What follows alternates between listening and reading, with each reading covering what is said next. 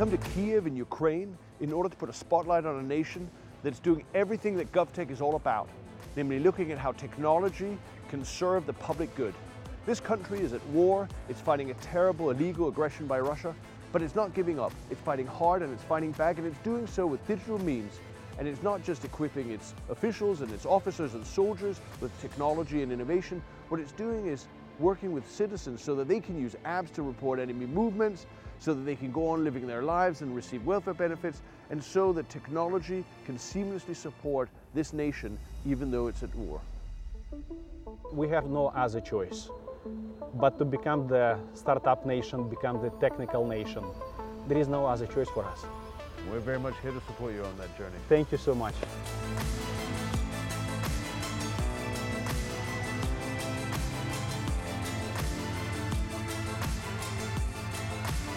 Uh, coping with all the challenges, keeping the contracts, keeping uh, our clients, or keeping uh, growing. as That's extraordinary. You've grown in the course of this war. Wow. Yes, yes, this is really strange, and uh, really very we are very happy about that because we believe that tech sector could be one of the hopes for the quick rebuild of the Ukrainian economy.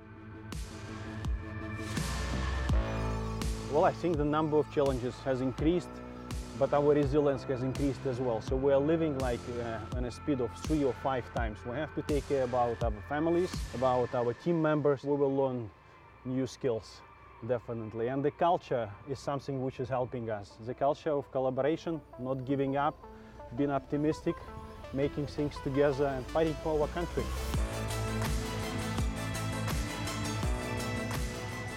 Kiev is an extraordinarily beautiful city, a European city of architecture, of history, of opera and of poetry, but it's also now a city under siege.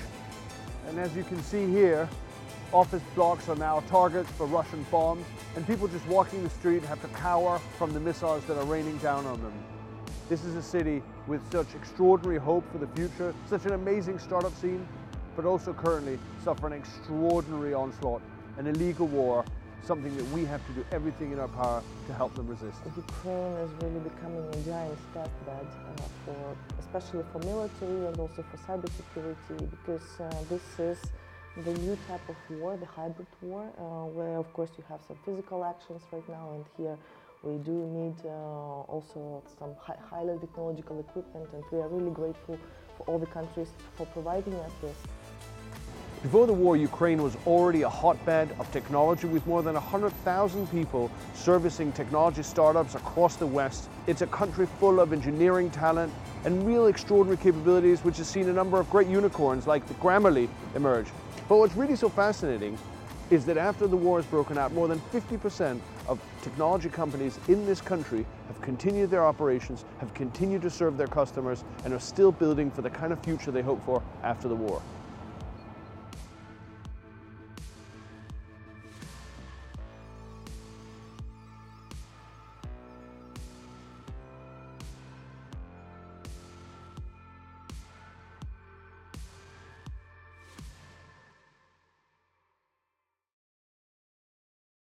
Thank you, Deputy Prime Minister, for taking the time to talk to us. It's uh, really exciting to open the GovTech Summit with your presence.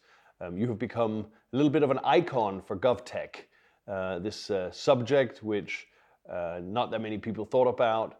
Uh, has now become front and center of, of Ukraine's struggle, and, and I understand that's largely thanks to you and your work. Uh, but I would like to, to understand why do you think Ukraine was so well prepared to use technology in the war? Ми створили міністерство у 2019 році і відразу створили застосунок Дія.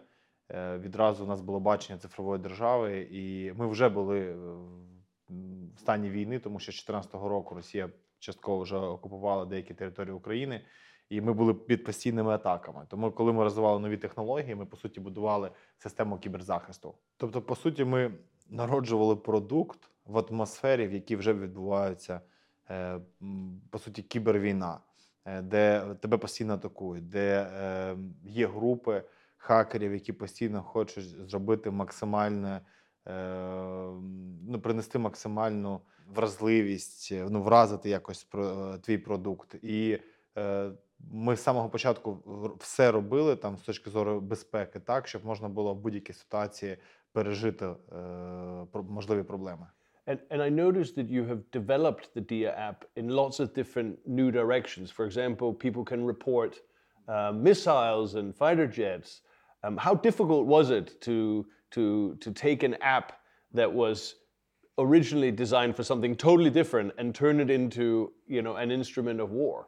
Ми з самого початку спроектували дію е, як е, е, one-stop shop, е, платформу, де будуть всі державні послуги і взагалі ну, будь-який сервіс, який пов'язаний з державою. Ми запустили дію з електронного паспорту, з електронних водійських посвідчень, технічного паспорту. Тобто ми стали першою країною в світі, яка е, запустила електронний паспорт і сказала, що він повністю прирівняний до, до паперового документу.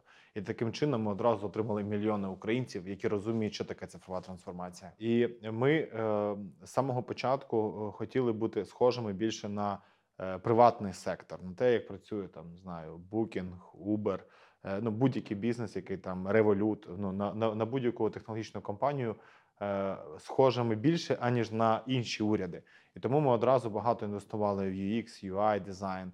Ми багато інвестували в нашу мікросервісну архітектуру. Тобто ми робили все, щоб е, брати там редоти, отримувати канського льва, лева е, і бути для користувача більш е, таким е, своїм е, чимось рідним. І таким чином ми отримали велику аудиторію. До початку війни в дії було близько 16 мільйонів користувачів. Це рівно за два роки ми отримали таку аудиторію. І тому далі ну вже є довіра людей. Люди вміють користуватися дією. Коли почалася війна, ми почали запускати швидкі сервіси, де можна розповісти про пересування ворожої техніки, подати заявку про пошкоджене майно, подивитися телебачення, по- послухати радіо. Ну тобто, е, все, що стосується війни, ну отримати там, отримати гроші, наприклад. І для люди довіряли. Для нас це було швидко для запуску, і все це, це, це, дуже органічно виходить. But you're talking about this as if it was natural and normal. But the truth is, that kind of architecture with microservices is actually very revolutionary for many governments. Um, so I'm curious, how did it uh, go down here? What did the other ministries say, and how did they react when suddenly you were rolling out new microservices in their areas? Before the war uh, or during the war? But both. Окей. Е, Ну, коли ми тільки створили міністерство, ну звичайно, що і прийшли по суті там люди з it сфери, з діджиталу, з маркетингу. Е, Звичайно, що на нас всі дивилися, е, ну так е, скажімо, е, з надією і з трохи з е, скептично.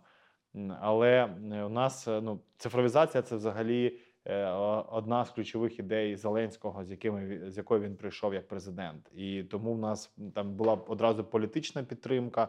А з іншого боку, у нас команда вся е, досить така технологічна і прийшла з бізнесу.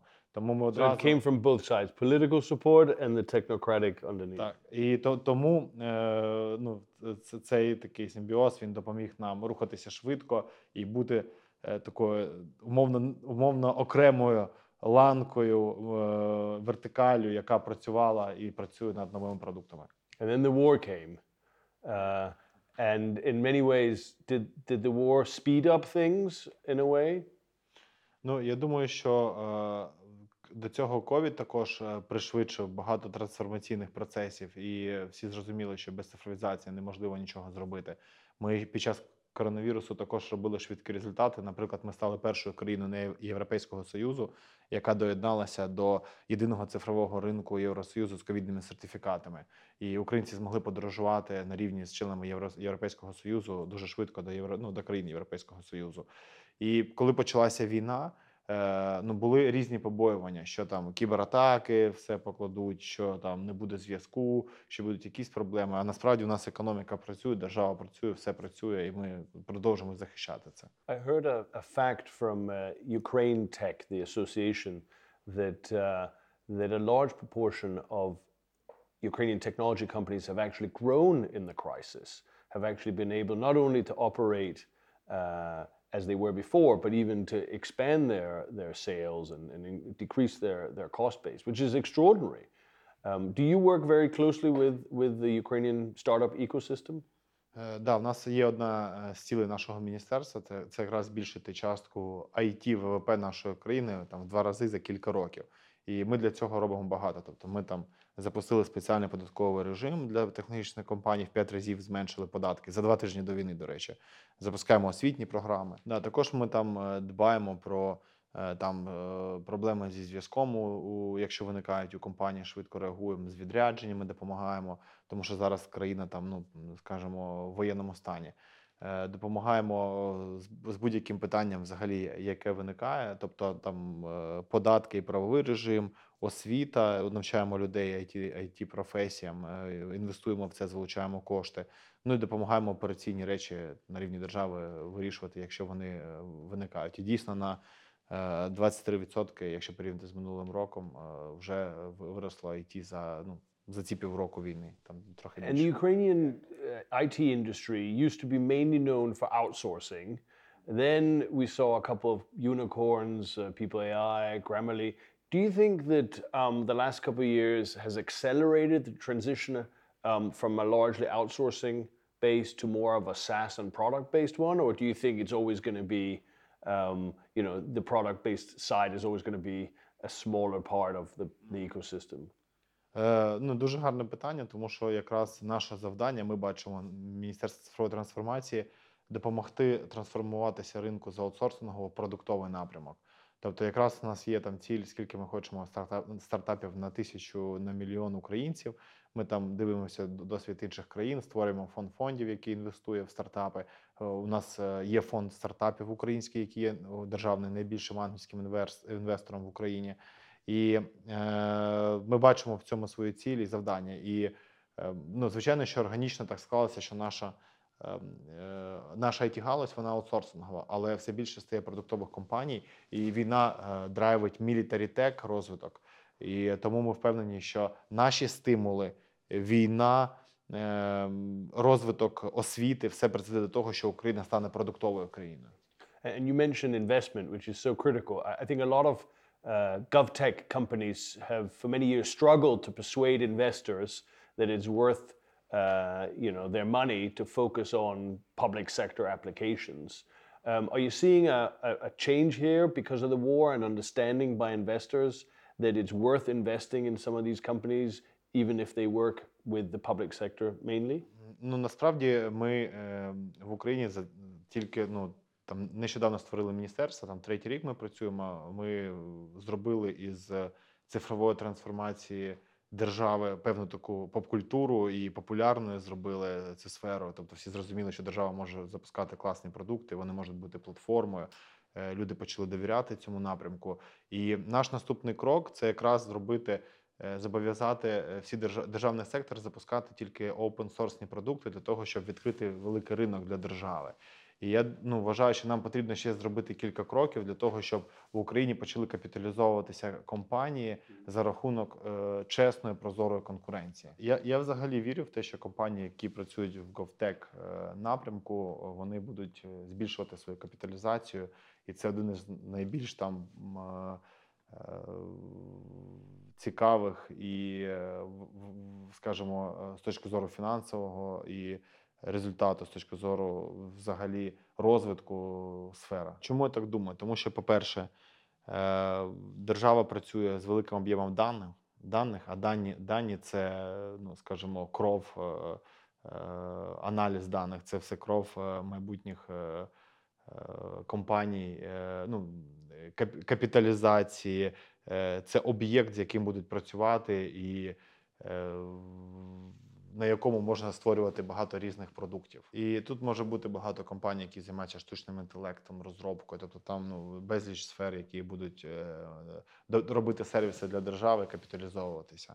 А з іншого, з іншого боку, люди е, зростає е, поведінка споживацька у людей, і е, люди прагнуть кращого сервісу. І тут також е, можна постійно безкінечно покращувати в цій конкуренції за клієнта, покращувати свої продукти, і держава також буде е, шукати нові продукти, які будуть покращувати цей досвід споживацький.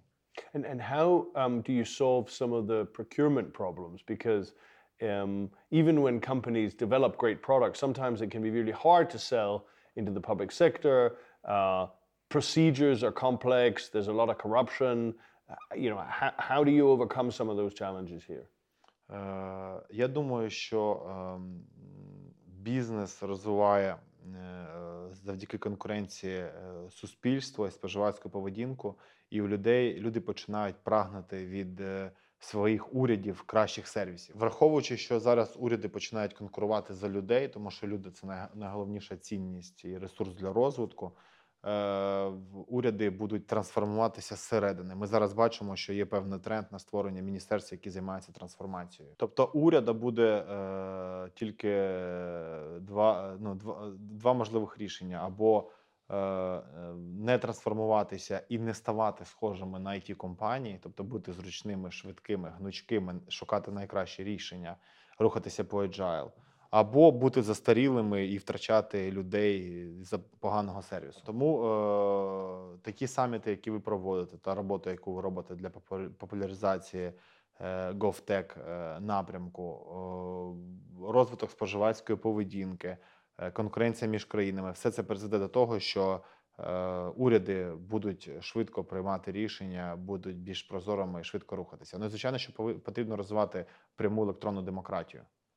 Well, um, I don't think I'm going too far to say that you've become a bit of a hero of the GovTech movement. So now that we've got uh, everybody gathered today in the GovTech Summit, do you have a message for, for our participants in this year's GovTech Summit? Ну, я по-перше, хотів би подякувати за увагу до України, е, за те, що ви всі допомагаєте, кожен на своєму місці, всім чим може, тому що так ми зможемо побороти е, такого е, е, ворога, який зараз атакує нашу країну. Е, Тільки разом ми це зможемо зробити. І також я хотів би вам побажати більше енергії, більше результатів в тому, чому, в чому чим ви займаєтесь, тому що тільки технології е, тільки прозорість, тільки е, вплив на уряди країн світу можуть е, зробити так, щоб більше в світі не з'явилося нових гітлерів та путінів. І все це можна зробити завдяки технологіям. Або уряди будуть схожі на it компанії, рухатися швидко, гнучко і ефективно, або вони не зможуть конкурувати за людей. Тому те, що ви сьогодні робите, це вплив на демократію, на незалежність, на суверенітет і взагалі на розвиток людства. Тому вам за це дякую. Thank you very much, Deputy Prime Minister. Brilliant. Okay. Fantastic. That was.